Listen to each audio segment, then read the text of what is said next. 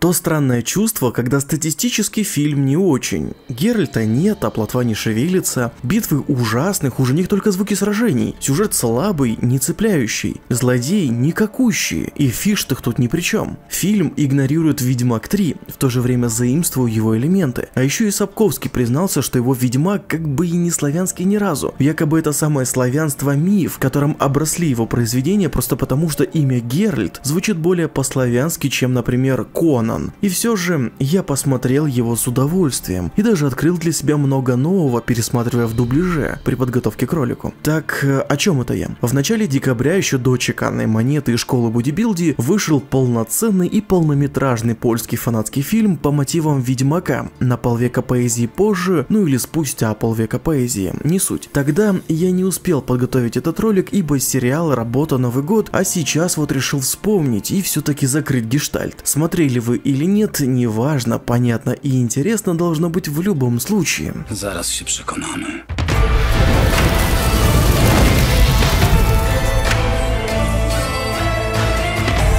Привет, странники, мое имя Эвуис Ребус, и это просто канал об играх. Если хотите быть в курсе выхода всех новых роликов или начале стримов и больше никакой лишней информации, подписывайтесь на мой канал в Телеграме, ссылка в описании. Ну а фильм стартует с предупреждения, что проект совершенно некоммерческий, а значит бюджетов нет, и сравнивать с голливудскими блокбастерами его не стоит. А также о том, что все права принадлежат их владельцам, и никто на этом фильме ни копейки не заработал. Нынче Сапковский уже не готов продавать их за пару тысяч долларов всем подряд. Следом мы видим поле битвы, черепа, вилы, прочее оружие и ведьмачьи медальоны под зачитывание цитаты из книги «Монструм» или «Ведьмака. Описание», существует существование которой нацелено на разжигание ненависти к ведьмакам. Впоследствии именно эта книга во многом станет причиной нападения на ведьмаков, их истребления и почти полного разрушения Каэр Морхена. Зная все это, может показаться, что мы видим недавнюю осаду Каэр Морхена, но нет, это всего лишь атмосферное вступление, можете забыть о нем. Что важнее, сейчас 1286 год. Фильм рассказывает о событиях после книжной саги, игнорируя события игр. В конце книжной истории в 1268 году Геральт и Йеннифер условно погибают, а Цири перемещает их на остров Яблонь. Это значит, что события фильма начинаются спустя 18 лет. Далее нам показывают Каэр Морхен и взрослого мужчину, который смешивает какое-то зелье. Как мы узнаем потом, это Весемир, и смешивал он вероятнее всего белую чайку, легкий ведьмачий галлюциноген для расслабления. Впрочем, судя по лицу в саже, видимо, не очень успешно. Также видим Ламберта, полирующего свой меч меч, и Эскеля, который вернулся с трофеем, напоминающим руку утопца, самого жалкого монстра, которого ведьмаки убивают за никчемные гроши. Вероятно, этим нам хотят показать упадок ведьмачьего ремесла. В это же самое время к ведьмачьей крепости продвигается отряд неизвестных вооруженных людей. Наступает ночь, и весь мир продолжает читать памфлет о ведьмаках, как будто впервые его в жизни видит. В момент первого просмотра я думал, что нам показывают прошлое, и сейчас будет осада Каэр Морхена. Ну, может быть вторая вторая волна, учитывая вступление. Но снова обман, и нам лишь напоминают, что ведьмаки не в почете, и что след их должен быть стерт с лица земли. На этом вооруженные бандиты нападают на Эскеля и Весемира. Ламберт той ночью отправился на охоту. Кто именно напал на ведьмаков, неизвестно. Во время стрима по фильму было выдвинуто предположение, что это саламандры, появление которых формально совпадает с началом первой игры по вселенной, но конкретного ответа мы так и не получим. В неравной схватке двое против толпы с плохой плохой неэпичной постановкой боев, плохим музыкальным сопровождением и плохими же звуковыми эффектами побеждают ведьмаки. Даже Ламберт почуял неладное, нашел след нападавших и зашел с тыла. Казалось бы, нападения отбиты, бандиты бросаются в рассыпную и сваливают подальше, но тут появляется он, высокий и лысый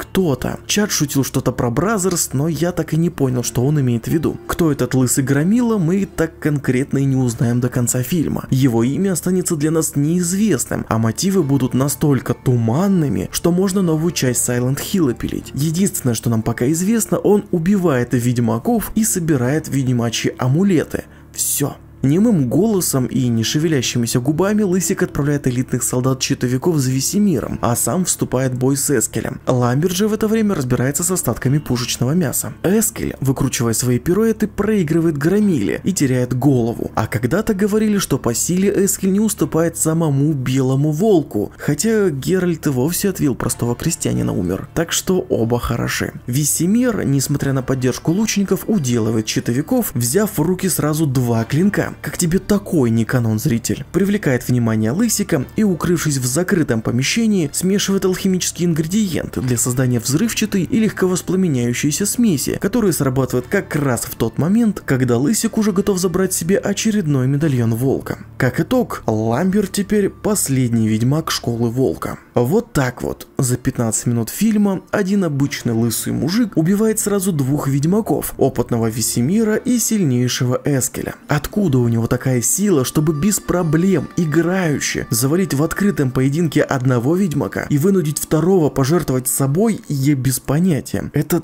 такой шок, такой разрыв шаблонов, такое нарушение ожиданий, что фильм хочется прекратить смотреть на этой же минуте, но смотрим дальше.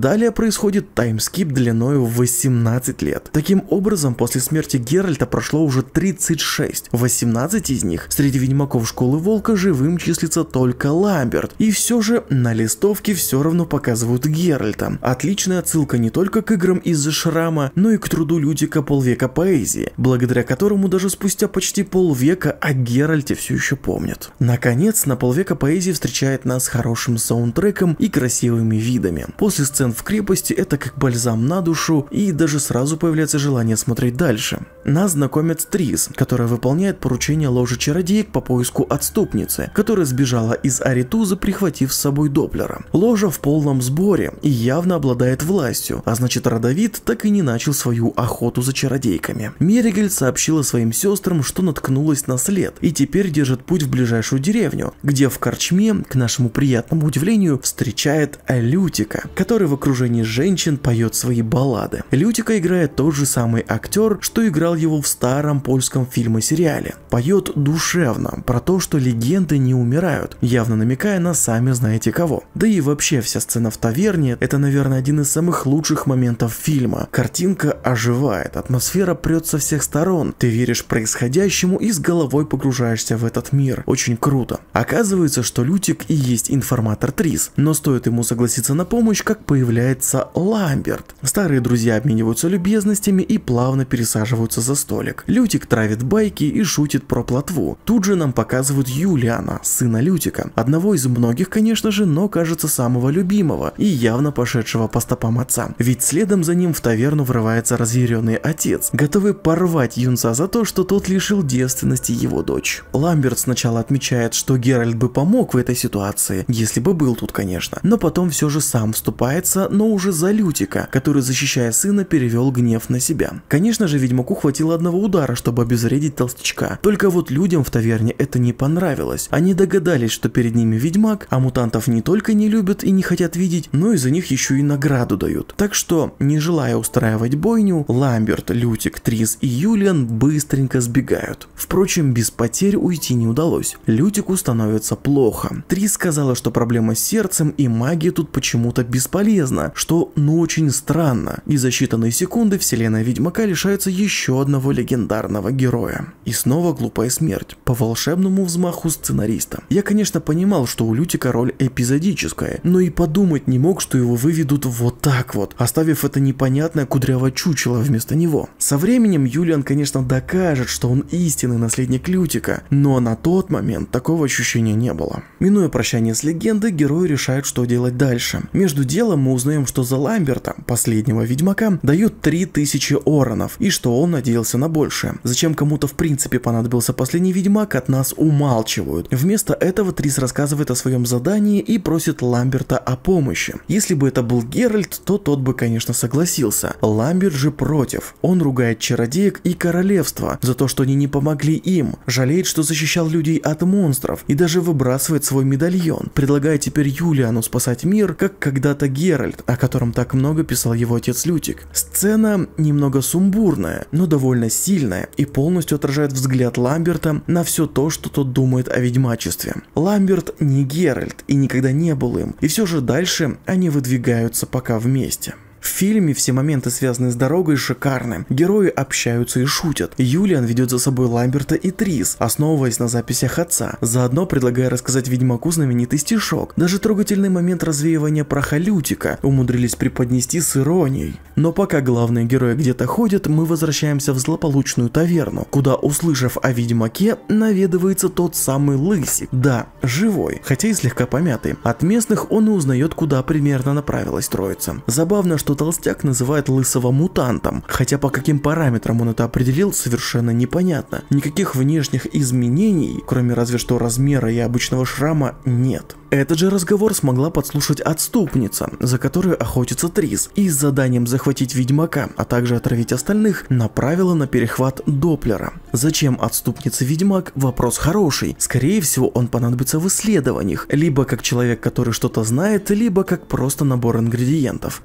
Подробностей, как мы уже привыкли, не будет. Зато мы узнаем, что отступница это симпатичная чародейка по имени Арнелла Вига, которая использует книгу Альзура, непонятно где найденную, чтобы воссоздать эксперимент по обращению ведьмака. Якобы в ходе своих исследований она заметила цикличность в появлении монстров. Сейчас их почти нет, но скоро твари полезут из своих нор вновь и попытаются уничтожить всех людей. Поэтому чародейка и пытается воссоздать тех, кто сможет остановить нашествие монстров, но не найдя поддержки в Аритузе, пошла в самоволку. Так что отступница не то чтобы совсем плохая и как бы действует ради общего блага. Впрочем, результаты у нее пока что не очень. Сама теория тоже вызывает сомнения, хотя и может объяснить один момент. Когда эльфы правили землями, у них не было больших проблем с монстрами. Когда же люди стали захватывать материк, те активизировались и стали большой угрозой. Возможно, все дело в циклах, но хрен его знает. Тем временем троица добирается до деревни Новые Пупки. Там их замечает местный бургомистр и предлагает остановиться не в таверне, где грязно и дорого, а у себя. Тем более, что он узнает Трис, а также по медальону опознает Геральта из Риви и его спутника Лютика. Новые Пупки прекрасное место. От названия до обитателей. Возможно, деревня слишком активная в местах появления героев, но это нельзя назвать минусом. Валазат так и вовсе лучший персонаж второго плана. Ему даже веришь, когда он путает героев. А ведьмаки Геральт и его другие лютики действительно знают многие, а в компании с Трис только их и ожидаешь увидеть. При этом у него есть мотив так радушно принимать в доме мутанта и чародейку. Деревню достает какая-то ведьма, которая крадет сирот и пожирает. Кто как не 14 холма и легендарный Белый Волк смогут с ней справиться. К тому же Трис догадывается, что ведьма, крадущая детей, никто иной, как нужная ей отступница Арелла, так что выгода получается обоюдной. Одно но, гены Лютика не дремлют, и несмотря на важность задания и обсуждения дальнейших планов, первым делом Юлиан рвется под юбку дочери бургомистра. Только вот девочка оказывается мальчиком, чем и повергает в шок случайного свидетеля. Кроме того, Ламберт замечает яд в вине и предупреждает о нем остальных. Небольшое расследование указывает на работу Доплера, которого ранее направила отступница. Только вот он схватил не того, и вместо настоящего ведьмака притащил в убежище Юлиана с ведьмачьим амулетом на шее. Пока Ламберт и Трис идут по следам, разбираются с Доплером и проникают через иллюзию в тайную обитель чародейки, Лютик какими-то невероятными флюидами умудряется соблазнить отступницу, хотя она знает, что это не ведьмак. В итоге неловкая сцена и ведьма оказалась обезвреженной на полу. Но пока Ламберт отвлекается на девочку, которую подвергли мутациям, он в шоке, его можно понять. А Трис и Юлиан смотрят просто по сторонам, отступница хватает с пола нож и всаживает его ведьмаку в спину, после чего, забирая книгу Альзура, убегает. Конечно, давайте оставим врага за спиной, никак не ограничив ее движение. Конечно, куда Ламберту, хваленому ведьмаку, закаленному в боях, почувствовать такое неловкое движение и на рефлексах увернуться? Конечно, зачем косой чародейке и неконтролирующему свой третий меч Барду следить хоть за чем-то-то? Отлично, молодцы, хорошо сработано. А теперь в погоню. На улице троицу уже встречает лысый громила с изуродованным лицом. И пока Ламберт не верит глазам и ловит флешбеки, Трис пытается подпалить гиганта. Но магия не срабатывает, и к невероятной силе со способностью убивать ведьмаков добавим неуязвимость к магии. Круто. Ламберт же, не сумев применить знак, тут это списывается на отсутствие медальона, выходит один на один против убийцы своих друзей. Но схватку, конечно же, проигрывает. Тут и рана сыграла свою роль, и отсутствие медальона, и общая дизмораль. Впрочем, от смерти его спасает Трис, открыв и затащив в портал. Доплер сбегает с поля боя сам, а вот отступницу с книгой Альзура захватывает в плен Лысик. И вот тут-то нас наконец немного посвящают в основной сюжет. Оказывается, Лысик был еще одним из экспериментов Альзура, чародея, который создал ведьмаков. А если быть точнее, он проходил через какие-то особые испытания и благодаря им стал мутантом. Причем очень сильным, сильнее любого ведьмака. Учитывая его предположительный возраст, умение убивать ведьмаков в открытом поединке и даже рефлект к магии. Это не дает конкретного ответа, но видимо так и должно быть, ведь даже Самотрис говорит, что неважно кто он. На Каэр Морхен Лысый напал потому, что искал книгу Альзура, которая нужна была ему, чтобы получить новые знания и усовершенствовать себя. Ведьмаков он убивает потому, что ненавидит, а ненавидит непонятно почему. Возможно конкуренция или потому, что он нелюбимое дитя. Но 18 лет охотился за Ламбертом он явно для того, чтобы узнать у него где книга. Забавно, что в итоге именно к ней тот его и привел, причем случайно. Конечная цель Лысого все так же непонятна. Отступница предполагает, что после убийства всех ведьмаков тот возьмется за жрецов Вечного Огня и чародеек, но это не точно. Как итог, совершенно непонятный злодей, которого не знаешь, ты и знать особо не хочешь. Но чародейка все же соглашается помочь Лысому и в знак доброй полезной воли возвращает тому нормальный вид лица. Значит, спасти Барда от смерти мы не можем, но вылечить шрам 18-летней давности легко. Ясно, понятно. Лысый хочет большего, но чародейка отказывает и вновь оказывается в темнице.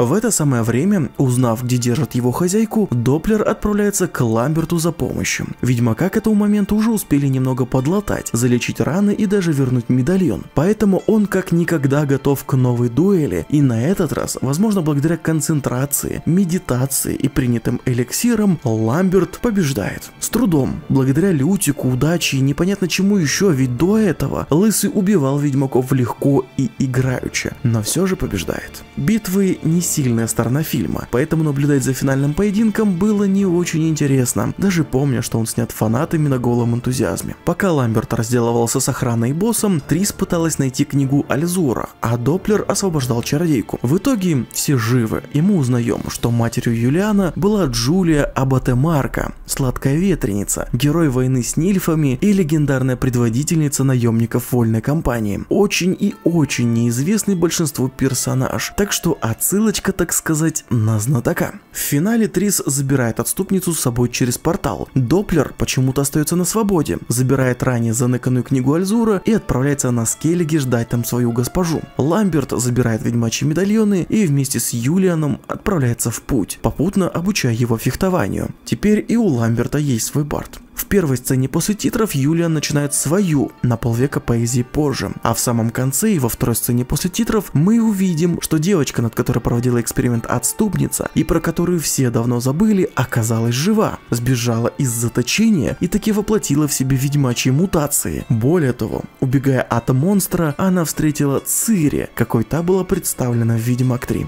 А вот такой вот задел на будущее. Отступница сбежит на Скейлиге и продолжит эксперименты с книгой Альзура. Ламберт, уже не последний ведьмак, и Юлиан, новый лютик, будут путешествовать вместе, а Цири возьмет себе на обучение юную ведьмачку. Наверное. Впрочем, будет ли продолжение, неизвестно.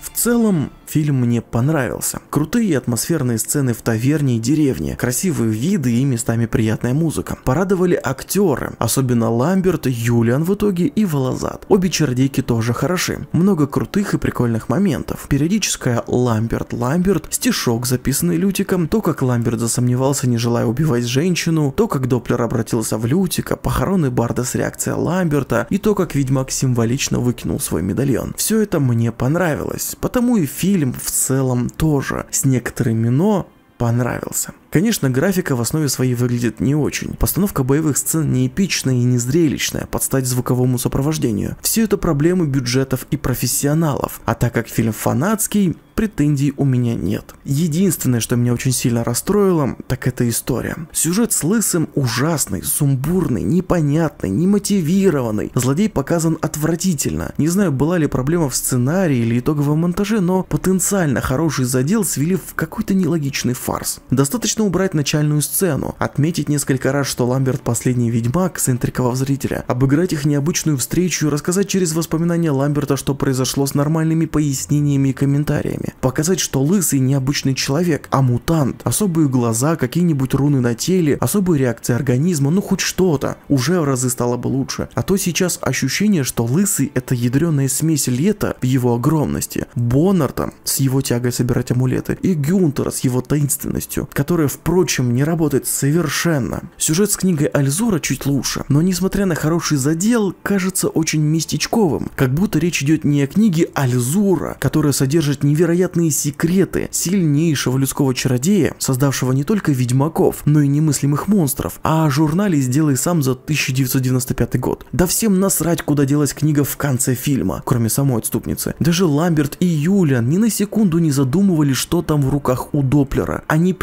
прикрытая ли тряпочками книга? Обидно, что историю можно было проработать и смонтировать чуть лучше, совершенно без дополнительных вложений. В остальном же мне понравилось. И если выйдет продолжение, то в принципе с удовольствием его посмотрю. Не знаю, есть ли смысл после такого обзора смотреть фильм вам, но если есть желание, то в описании оставлю ссылки на оригинал с сабами и на русский озвученный вариант. А с вами был Эвойс Ребус. Поддержите видео лайком и канал подпиской, а также подпишитесь на группу в Телеграме, чтобы всегда знать о выходе новых видео или начале стримов, а не вот эти вот ваши умные ленты Ютуба или ВКонтакте, которые ни хрена не показывают. На этом все и еще увидимся.